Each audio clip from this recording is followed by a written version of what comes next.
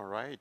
Um, it's two, and the room is already virtually full, so I think we can slowly get started. Um, my name is Benjamin. Benjamin, I'm based in France. I'm a developer advocate for the Zephyr project at the Linux Foundation. And today I want to share, so yeah, I'm not super happy about the title, but the short story is that I want to share some tips and pointers to things that might help you be more productive when writing embedded software in general, no matter what platform you're using. If you happen to use Zephyr and the Zephyr real-time operating system, it might the tips might be even more useful, but uh, it turns out that it's actually just talking about some yeah, some of the things that can help you when it comes to emulating, when it comes to trying to get uh, and to improve your security story, things like that. So, yeah, like I said, I'm uh, Benjamin. I've been with the Zephyr project for a few months now, but I've been doing open source and IoT for many years. Uh, did a bit at the Eclipse Foundation. I was also part of the um, Azure IoT uh, product group at Microsoft. I've been hacking around with lots of open source, open hardware stuff. This silly picture, some of you might have seen that before. I, like during COVID, I ended up tinkering with Arduinos and stuff and building some kind of artificial nose using like TensorFlow running on MCUs, that kind of stuff. Um, but yeah, these days I'm spending a lot of time on Zephyr, and like I said, it's a disclaimer and or good news because you don't have to use Zephyr to hopefully take away some uh, interesting tips uh, from this session. Some of the things that are painful whenever you end up writing embedded software and whether it is quite frankly as a hobbyist or more like in a more professional capacity if you're interested in like building actual um, end user products there's many pain points but some of them are listed here. Hardware can be a pain because like it's difficult to debug. It's difficult to have like um, efficient round trips when it comes to testing your software plus hardware might not even be available uh, these days, and you need to be able to, uh, to maybe jump from one architecture to the other or from one silicon vendor to the other because the sensor or the piece of equipment that you were planning on getting has all of a sudden uh, years of lead time because yeah, COVID and like silicon shortage have um, messed up a lot of things there. Of course, resources are limited, so you need at some point some tools, some ways to make the, the best of the kind of resources you have. So I'm going to try and talk about some of the tools that can help there. Um, sometimes embedded is lagging behind in terms of like getting to a point where you do at least some kind of testing of the of your code. Ideally, getting to the point where you do even like continuous integration, maybe continuous delivery. But like historically, this hasn't necessarily be, been a practice uh, necessarily implemented in the embedded world. So I'm going to show also a few things there. Um, managing the provenance of your software, especially if you end up putting some open source bits and some third-party libraries into your embedded system, how can you manage that efficiently? And security, of course, like if you care about IoT, of course, the, um, uh, the S in IoT stands for security, right? We all know that. And uh, again, some tools there. Um, starting with the hardware, one thing that I think was really interesting uh, in this survey that Avnet, so the, the big um, electronic components supplier, did.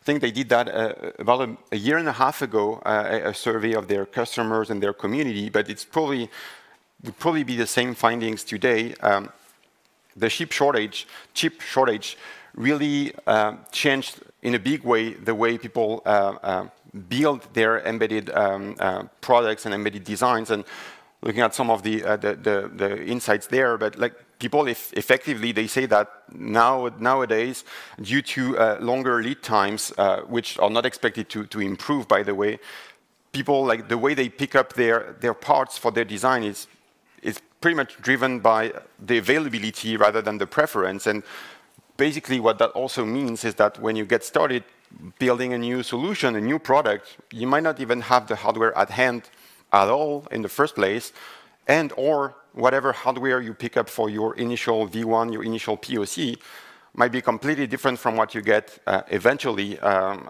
and what you manage to secure for, for, for going production. So this is also a reasonably old screenshot, but I could have updated it, and I'm pretty sure I would have found occurrences of, like, at some point in time, last year I was interested in getting myself uh, this particular developer kit, only to realize that the lead time was over a year, which is, eh, that's, and that's not, not, not the, the only one, right? So that's, uh, but it could very well be that this is like the perfect solution for my particular idea, my particular um, design, and I really want to get started. How can it still do that? Well, over the past few years, there's been lots of um, tools, many of them actually being uh, being open source uh, and or uh, uh reasonably open source, like most of most of them uh, providing uh, um, being being made available in, in open source. And I want to talk about some of them and show you some of the things that you may not know, uh, and I see a lot of people taking pictures, so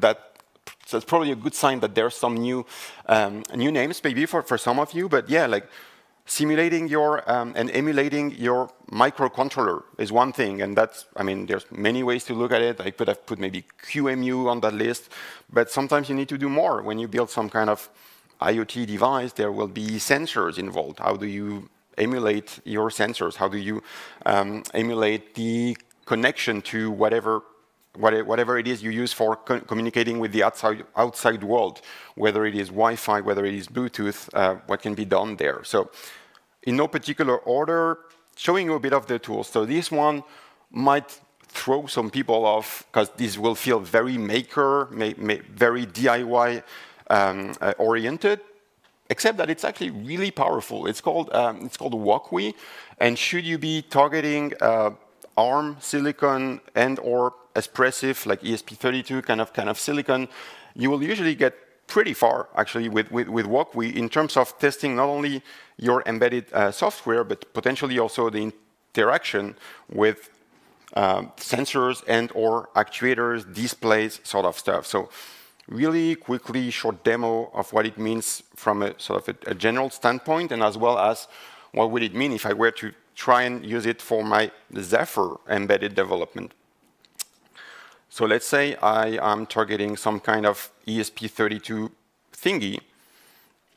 Again, right from my web browser and or this could be something also integrated in an IDE such as uh, VS Code and maybe a bunch of others. There's like there's APIs to do it um, more locally if you don't want uh, or don't uh, yeah, don't feel comfortable running it from your browser, but essentially, left-hand side, this would be, in this particular case, an Arduino, sort of Arduino-based kind of uh, embedded application.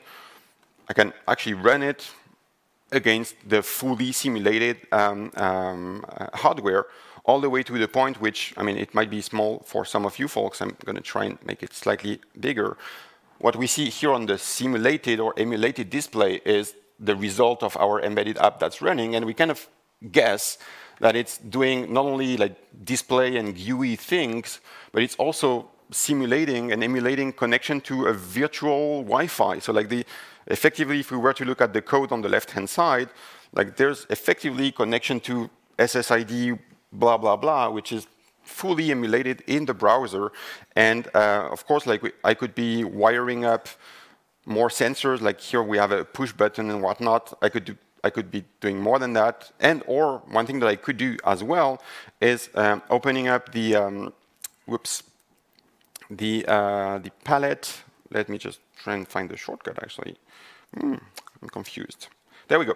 The, yeah, the, the palette, uh, the command palette, similar to what I would have in VS Code, and I will just look at, and this is small, so I'm going to read, read it out loud, but upload firmware and start simulation. Essentially, what I want to do here is take a, um, uh, a firmware that I have already built on my machine, which happens to be using Zephyr, and I'm, i think this is going to be just like blinking an LED. So, but just for the sake of the demo, let's see. Uh, like this is exactly the same ELF that I would be deploying on my real ESP32, except that here, well, it's running on emulated, um, emulated hardware, and we see the, the blue LED uh, blinking or pulsating, and we see in the shell, uh, we have the, the, the, the, Zephyr prompt. I mean, this is one way to, to, to emulate things, and I, I kind of like the, the, the way, um, how easy it is to do things like simulate the Wi-Fi connection. It might not be your thing, uh, if you, you're doing something more, more complex than just a couple sensors and, and things like that, but it's,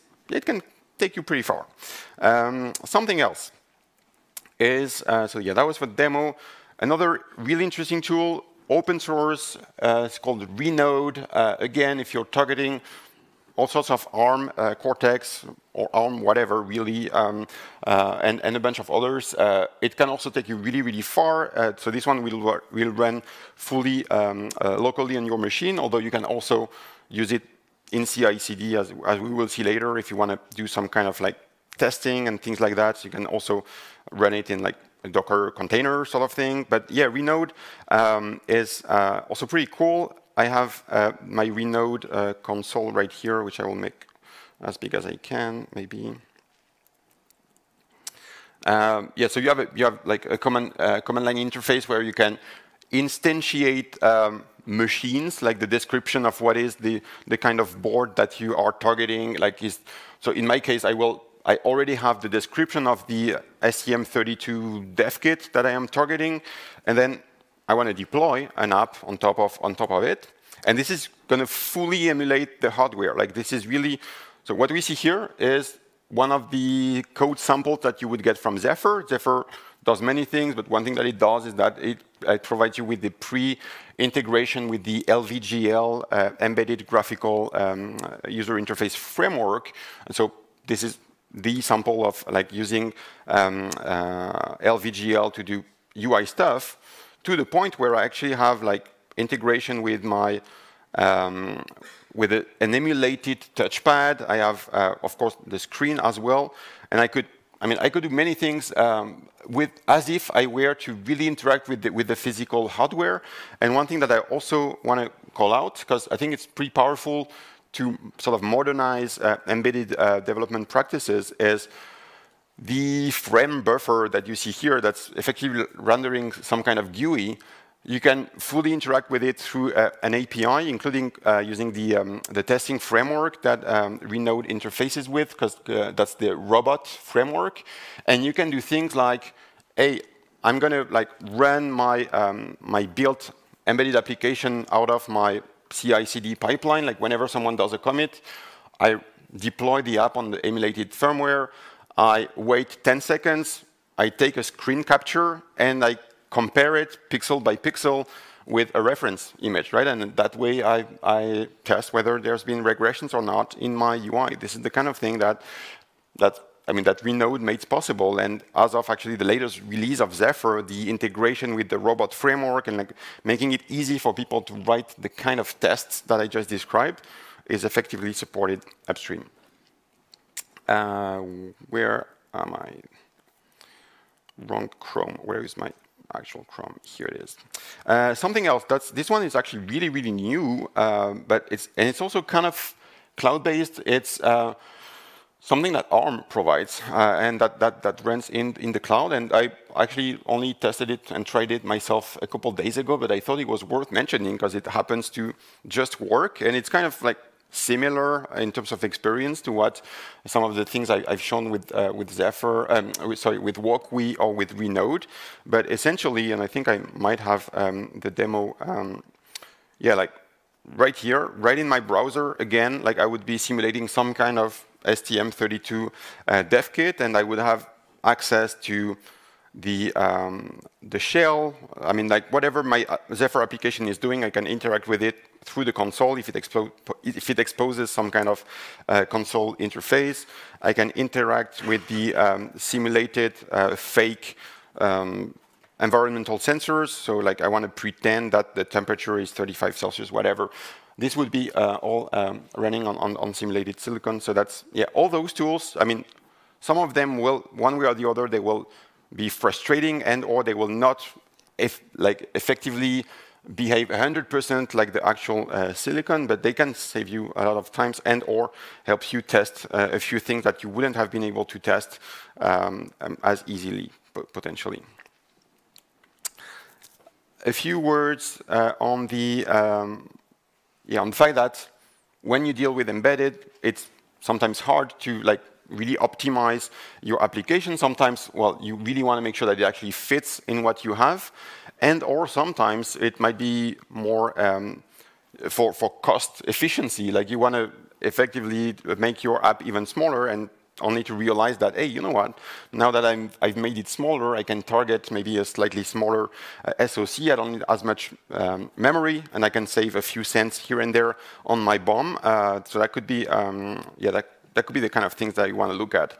One tool that's really well integrated with, um, uh, and that, that works just out of the box when you're um, using Zephyr, but pretty sure you would uh, be able to use it just the same with any other RTOS, really is uh, Puncover, and it goes pretty far in terms of uh, providing you stats with regards to how your binaries uh, um, uh, look like in terms of like what is the, the, the size code-wise, what is the memory that your code is going to use, uh, uh, what is the what is going to be the worst case scenario in terms of how much memory you're um, you're going to use on your stack, sort of stuff. So just yeah, main point really of my talk is to leave you with a bunch of pointers. Many of the things that I'm mentioning are way more, uh, uh, way better explained probably in the documentation, but now at least you know they exist.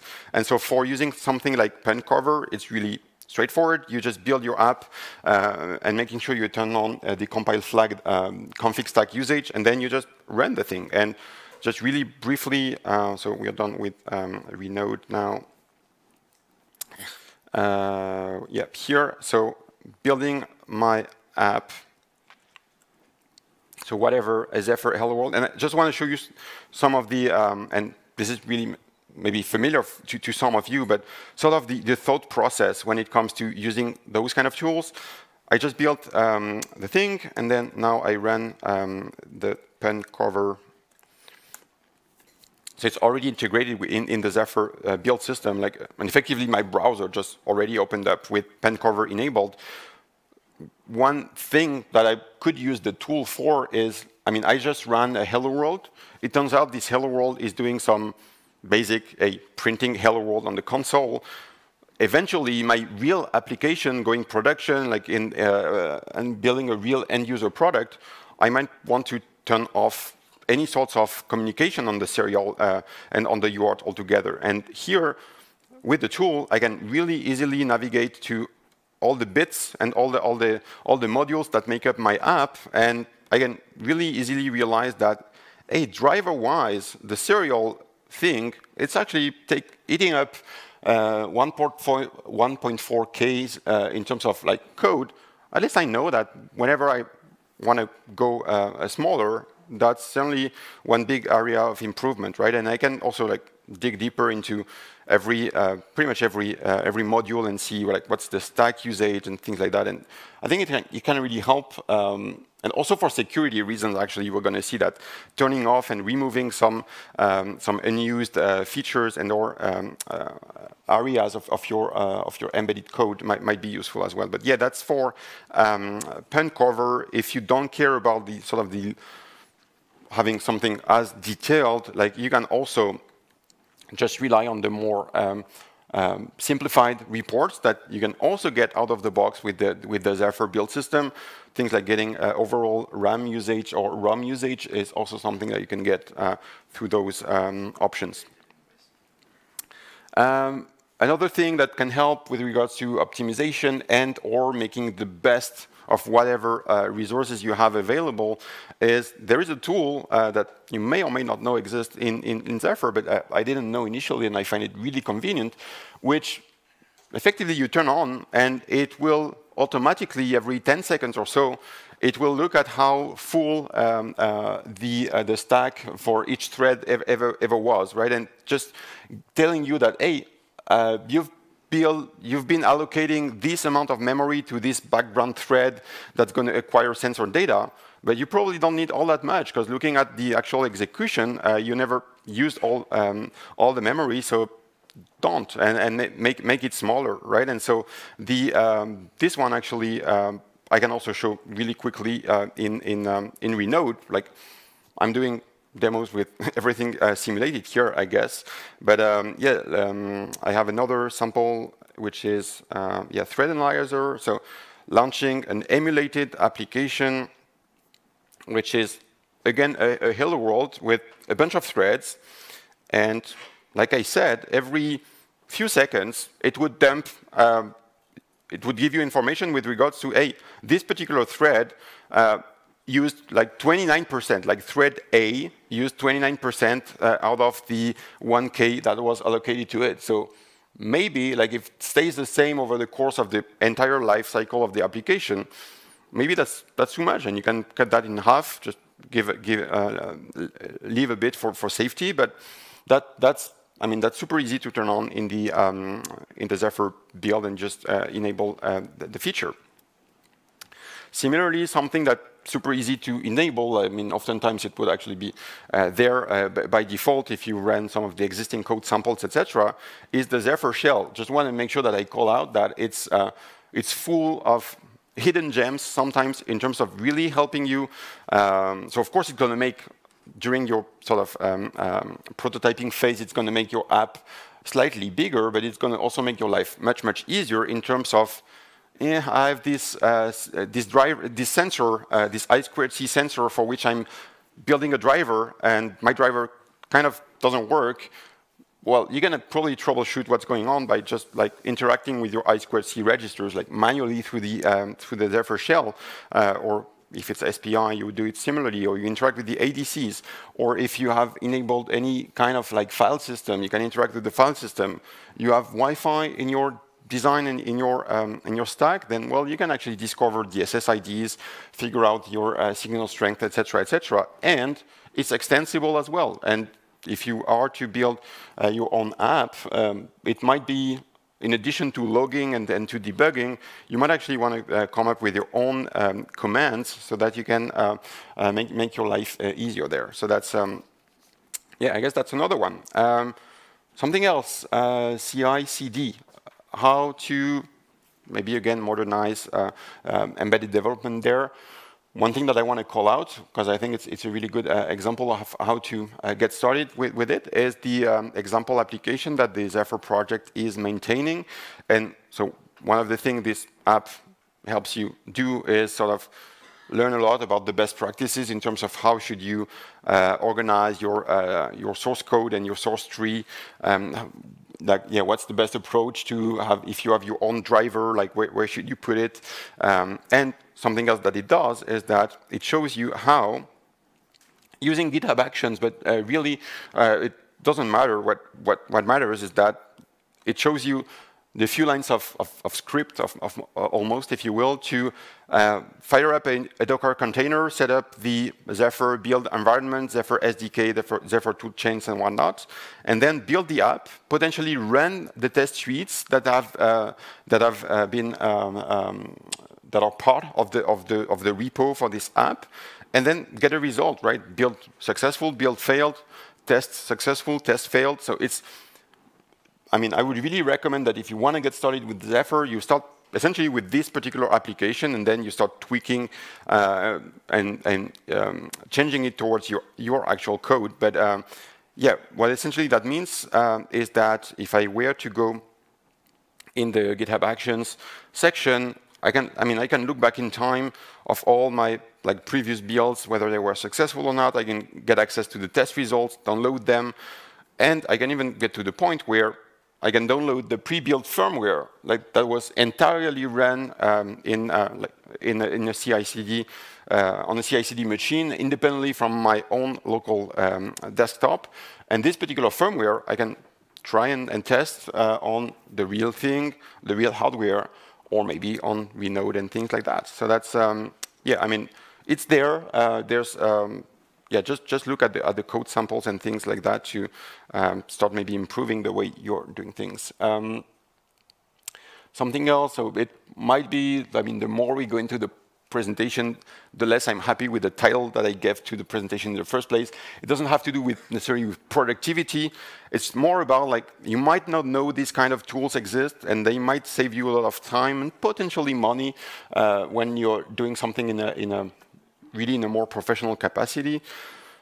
I don't know if you're aware or, or, familiar with the notion of SBOM. Of course, we talk a lot about bombs in, uh, in the hardware world, but like when you ship a product, yes, it has hardware, but it's also pulling in lots of software components. Like I said earlier, lots of them probably um, are open source in, in, um, in one way or the other, tracking the provenance and like keeping track of sort of the manifest of what it is that you put in a particular um, uh, revision of, of, your, uh, of your product might be, uh, might be a problem. There are tools and there are standards to do that, like the SPDX standard helps uh, really sort of annotate and decorate uh, open source uh, code with all the metadata that helps track the provenance. Like this particular source file that ended up being compiled and built and linked into your uh, application, well, it comes from probably from some kind of GitHub repo, so it has a SHA associated to it.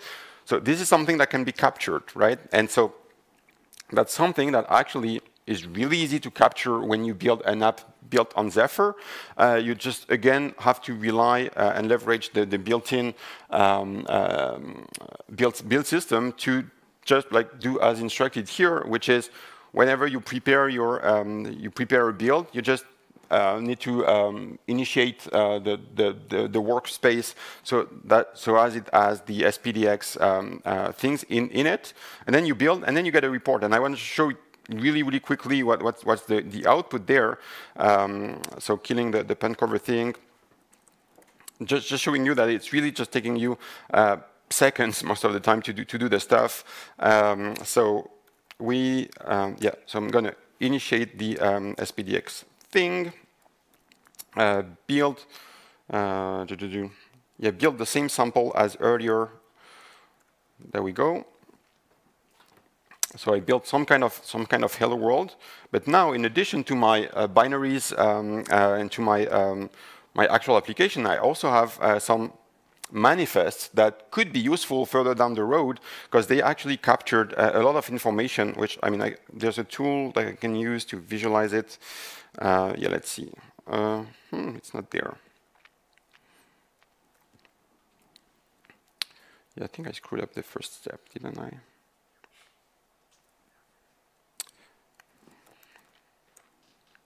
I mean, it's all right. I, I don't have to do this, this particular demo. Uh, let's see, trying again.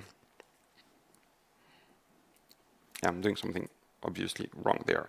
Uh, yeah, whatever. The, the idea is that in addition to your binary, you would have captured in a manifest and in a very standard actually uh, format, you have the list of all the individual source files that ended up being making it into your uh, into your application.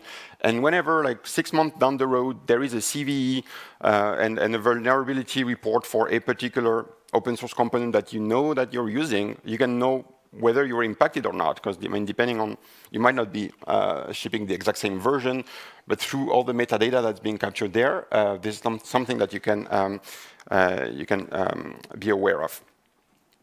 And yeah, last but not least, uh, things to help you build more secure. So I'm like full disclaimer, I'm no security expert, uh, but I like to rely on whatever tool I can find out there to help me at least be more aware of things that I could do better to at least improve my, my, my security posture.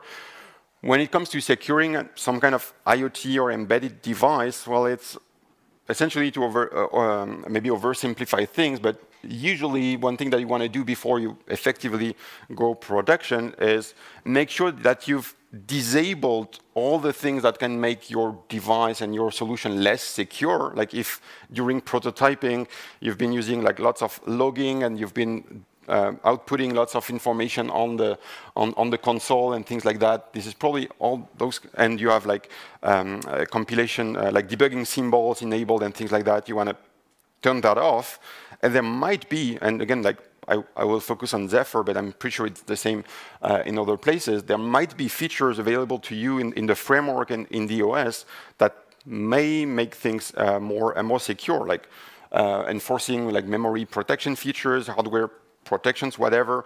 So there is a tool in Zephyr that many people don't know exists, uh, but that I find really, really um, interesting to to help you sort of realize what it is that you might be doing wrong or that you might want to have a, a, a closer look at.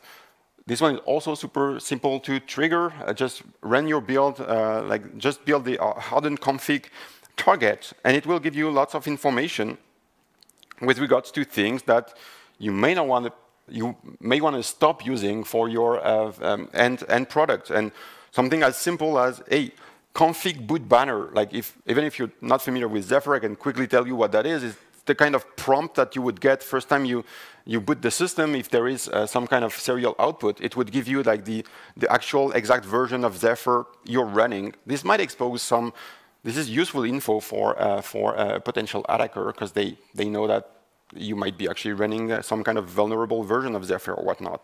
Uh, and I mean, similarly, like, are you running, um, are you using the console? Are you logging? Are you, uh, do you have um, the build output stripped? Uh, in my case, I don't, but what the tool is recommending is that I do, right? I should probably be stripping uh, debugging information. And it would also warn you if you are using experimental features in the kernel. Like you, you might have very good reasons to do that, but at least uh, it's yeah, it's it's probably good to for for you to double uh, think about that and, and make sure that uh, it's really intentional whenever you're um, running that in production.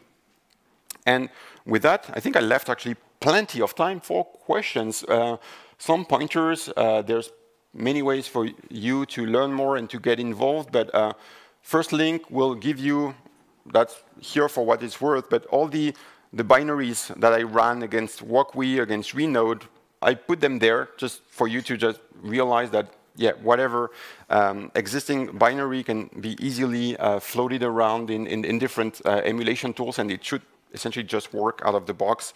Uh, the community is really, really active on Discord, so if following this talk, uh, uh, or any talk really this week, there's um, uh, more that you want to discuss with the community, please join uh, the, the Discord channel. And yeah, everything else, the, the usual uh, contact info and with that, I will um, yeah, take questions if there's any. And if there's anyone from the project that feels that there were some useful tips that I forgot, uh, we can also uh, talk about that. All right, uh, yeah, just shout the question and I will repeat it. Oh, there's, there's a mic, even better.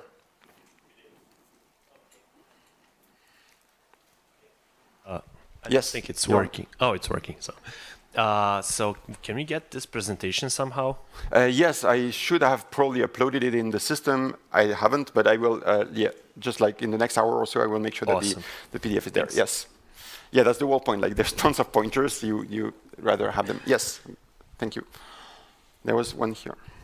Uh, you mentioned the thread, you, know, you mentioned the thread analyzer, and uh, I, have uh, worked with it a little bit, but what I'm missing in it, and maybe there's some configuration to, to add, that it only prints uh, uh, the, the data once. So if I have some application that's running and later on maybe I connect and do some sampling or something else and I want to see these threads, I don't get that, that data anymore.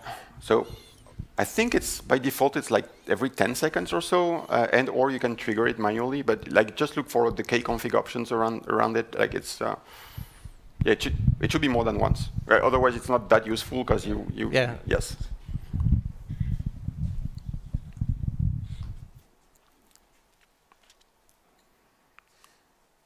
All right. Were there questions online? I guess not. I didn't see any. Let me double check before we wrap it up.